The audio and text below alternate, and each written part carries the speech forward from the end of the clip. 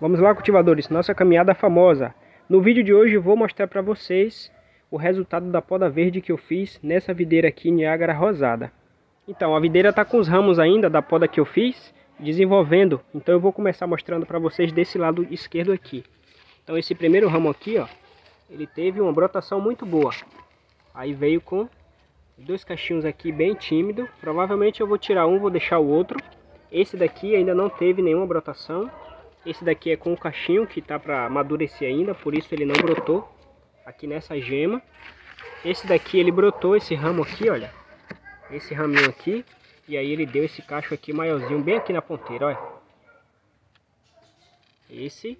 Esse daqui brotou também, já veio mais desenvolvido. Veio com esse daqui, veio esse daqui de trás também. O ramo ele já está bem aqui no último fio do arame, olha. Esse daqui, quando eu fiz essa poda aqui, de cima, aí veio esse broto daqui, de baixo. Aí brotou também com o cachinho, olha. Esse de cima, aí no caso do dele, veio com esse outro cacho aqui. Esse e esse outro aqui também, olha. Esse daqui não veio com nenhum cachinho, porque o ramo veio canelinha seca. Tava bem fininho ele, aí eu podei só para eu ter um ramo aqui para fazer uma futura poda. Então ele não veio com nenhum. Esse daqui veio também. Esse.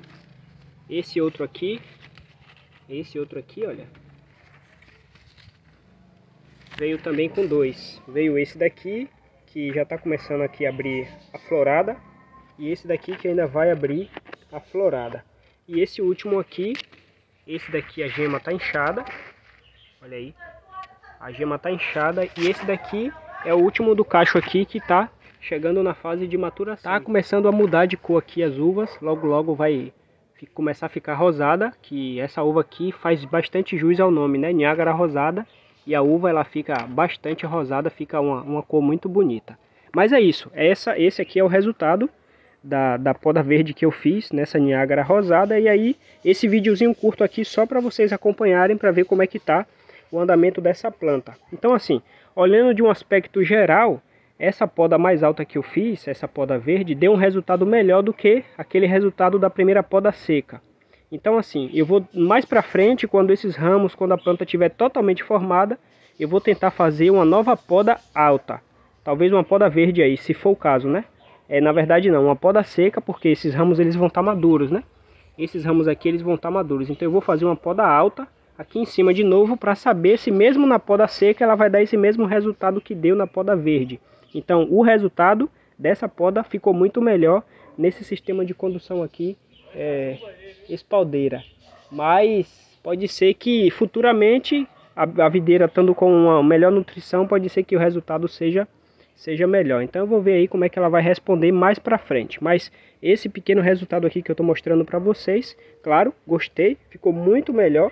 Esse resultado aqui da, da poda verde dessa Niagara e aí agora torcer mais para frente para ver se ela dá um resultado ainda melhor. Mas isso tudo depende de todo um conjunto de fatores, né? É, adubação, irrigação, adubação foliares também é muito importante. Eu costumo usar aqui tanto adubação de solo para absorção das raízes, também adubação é, foliar, é, sulfato de magnésio, é, eu uso também aqui. O enxofre ele ajuda bastante é uma adubação foliar muito boa também. E a calda bordaleza também ajuda bastante a manter as folhas com uma sanidade boa e no geral a videira. Então esse é um resultado que eu gostei. Estou na expectativa de melhorar o resultado ainda mais para frente. É, e um resultado melhor a cada tempo, a cada manejo, a cada cultivo para frente, melhorar o aspecto da planta, a formação dela e melhorar também a produção. Então fica aí essas dicas para vocês, um vídeo para vocês acompanharem aqui também. Se você tiver uma Niagara rosada aí, que você cultiva ela no sistema de condução espaldeira, diga aí também como é que você tem manejado sua planta para poder dar o resultado que você está na expectativa. Tá certo, cultivadores? Se inscreva no canal, você que não se inscreveu ainda.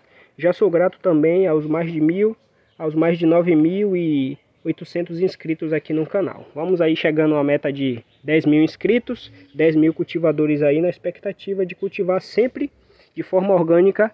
E se você não tem uma videira em casa, o objetivo é que você também cultive sua videira em casa de forma orgânica. Olha que belezinha. Aqui já teve o pegamento total, aí agora a ideia é só ir começando o desenvolvimento das bagas, né? Olha aqui, ó. Não veio com aqueles cachos tão expressivos assim, mas veio uma produção bem melhor e bem maior do que a produção que deu ali embaixo, como eu falei para vocês. Então, vou ficando por aqui com essas dicas para vocês ir acompanhando aí. Um abraço para todos e até um próximo vídeo.